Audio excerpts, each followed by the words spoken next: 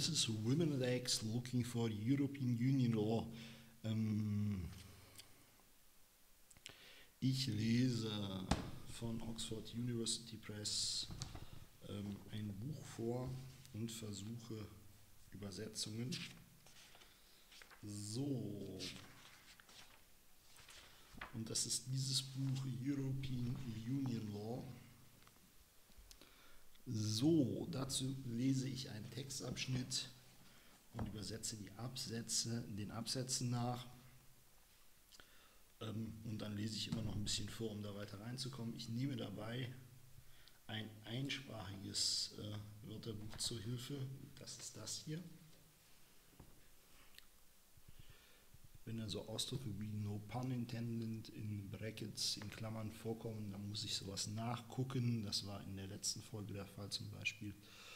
Ähm, ich empfehle dazu immer einsprachige Wörterbücher mit ganzen Sätzen. Ich bin für die zweisprachigen an der Stelle zu doof. Damit kann ich das nicht richtig. So. Es gibt Leute, die können das mit zweisprachigen. Ich kann es nicht richtig. So. Ähm,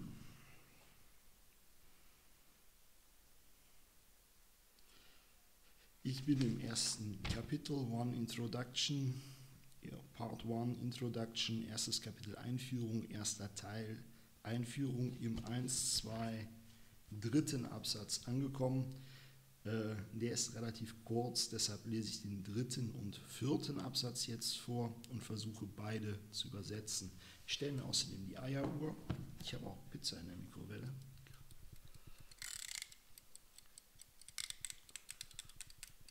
Die wird da hoffentlich bei 150 Grad auch 150 Grad warm und kann gleich gegessen werden.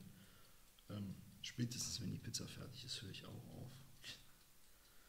So, das ist die Eieruhr. Hört man hoffentlich auch. So.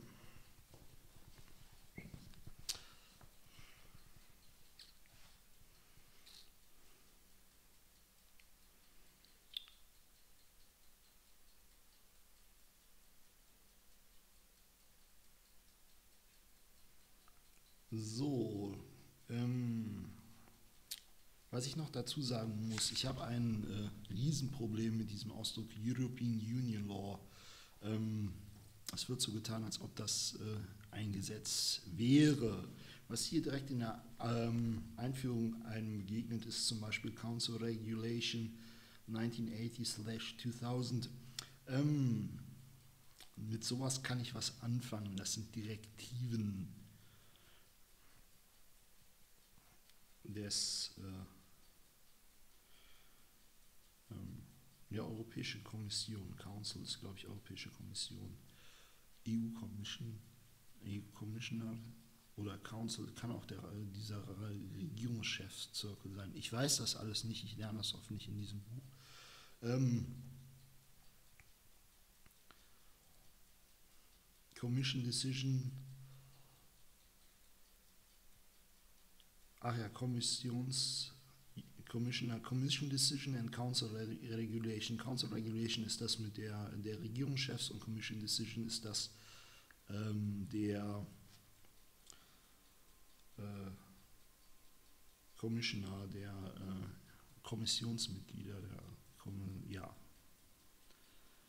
In Deutschland hießen die auch mal zwischendurch Kommissar. Ich verfolge das nicht, ich verstehe das alles nicht, was die da mittlerweile machen. Das ist auch ein bisschen anders, als das hier in dem Buch beschrieben wird. So, so viel habe ich schon rausgekriegt. Also, ich weiß nicht, ob das immer alles so richtig ist, was da in der Presse erzählt wird oder was da gemacht wird. Ich finde die Kandidaten, die man hier wählen kann, auch ein bisschen komisch, aber pff, naja. Ich gehe deshalb auch nicht zu der Wahl hin, die demnächst nichts stattfindet. Das wird auch nach der Wahl äh, veröffentlicht, weil ich die Wahl nicht beeinflussen möchte. Ähm, so, ich lese vor. Thus, contrary to popular misconception, EU rules are not all of the command and control kind. In brackets, all bananas must be straight, brackets close. The EU has experimented with different types of regulation to create flexibility in the, in the operation of its rules. Hier wird auch von Rules gesprochen und nicht von Gesetzen. The EU has experimented with different types of regulation to create flexibility in the operation of its rules.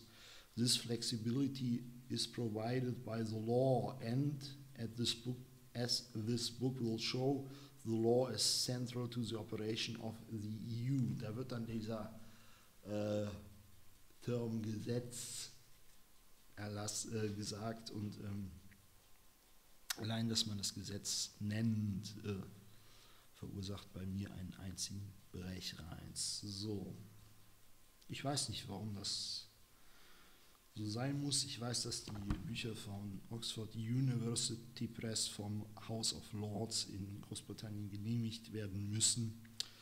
Und äh, das House of Lords besteht auf den Term Union Law, Europe, Union Law. Ich finde den zum Kotzen. Und wenn man sich mal die Genscheiße anguckt, die da drin sitzt, dann hat man, also im House of Lords, dann hat man starke Zweifel daran, dass das so richtig ist. So. Mehr möchte ich dazu nicht sagen. Indeed, the EU, EU itself is a legal construct. Ich lasse mal den Rechtschreibfehler hier weg. Da ist auch gestottert in dem Buch.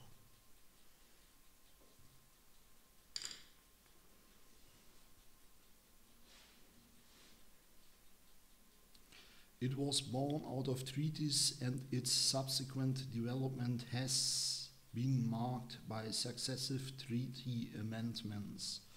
One of the earliest major research projects on the EU described the process as integration through law. Da kommt wieder so ein Bläh Term. Ähm ich krieg bei sowas das Kotzen, das ist hier 8. Berlin, de Gruyter 1985, so eine Scheiße kann auch nur in Deutschland verlegt werden. Und wie heißt das? Integration through Law heißt das Buch. Naja, ist aus von 85. Bah.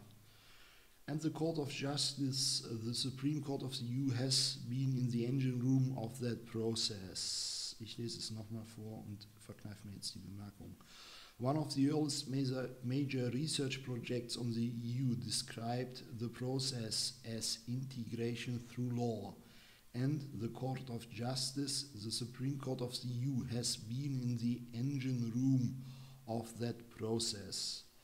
Of course, law and politics go hand in hand, and no lawyer would deny the important role played by politicians in both driving forward and shaping the the development of the EU, particularly faced with seismic geopolitical forces, the fall of the Berlin Wall, 9-11 and the sovereign debt crisis. Ähm, ja, auch ich warte auf die Parlamentseröffnung in Großbritannien. although the hegemony of law may have waned over recent years as problems have arisen which are not immediately amenable to legal resolution, law remains central to the EU project. And it is the law set in this broader political context which is the subject matter of this book. So, jetzt versuche ich es mit äh, Übersetzung. Ich werde das Satz für Satz tun und dann ist erstmal gut für heute. Ich mache hier schon mal das Zeichen rein, wo es weitergeht.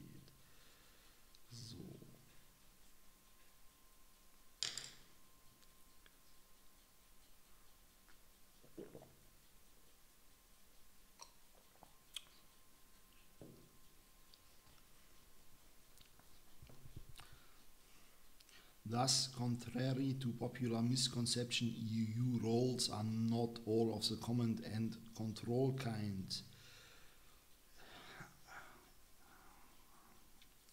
In brackets, all banners must be straight. So. Thus, contrary to popular misconception. Ähm,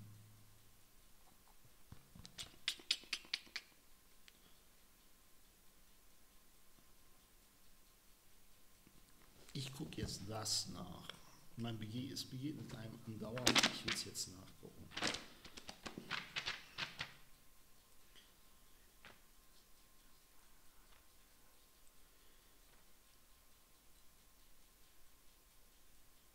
Thumb.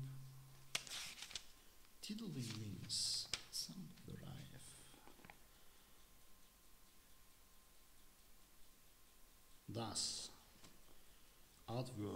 Formal in the way like this, many scholars have argued thus. The universities have expanded, thus allowing many more people the chance of higher education. As a result of something just mentioned. Okay.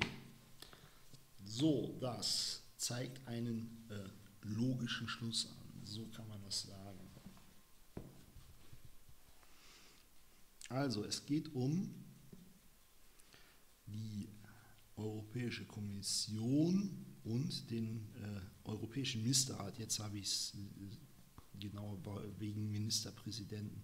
Europäischen Ministerrat, da müsste in Deutschland Angela Merkel als Ministerpräsidentin von Deutschland drin sitzen, als Kanzlerin. Ähm, also die amerikanische Kommission und der Europäische Ministerrat haben Council Regulation 1890 2000 erlassen und jetzt steht da ein Thus. Thus, contrary to popular misconception, EU, EU rules are not all of the command and control kind. Ähm, und jetzt fängt die Scheiße in dem Buch schon an.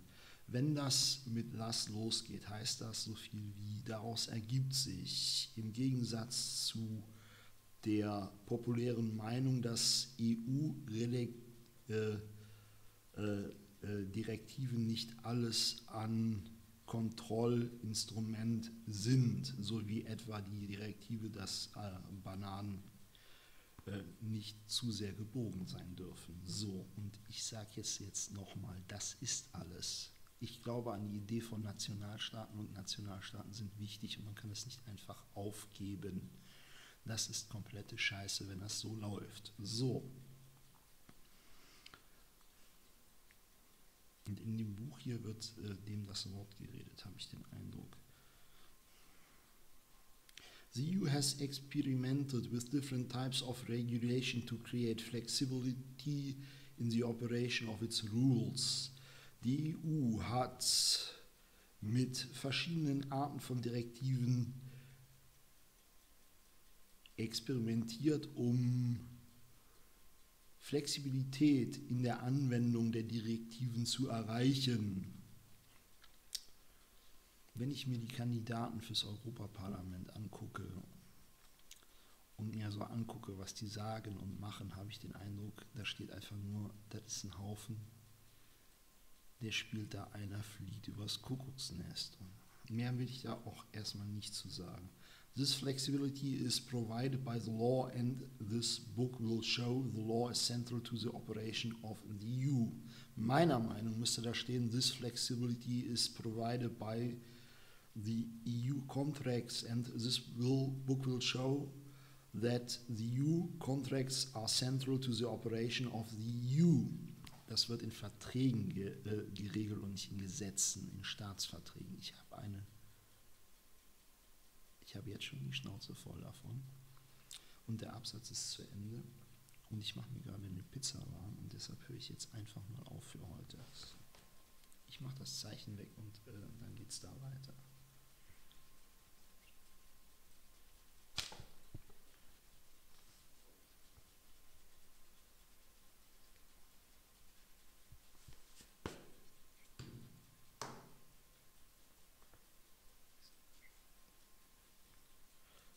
ist eine äh, eigentlich zu kurze Folge. Ich habe aber keine Lust dazu, das alles zu machen. Tschüss.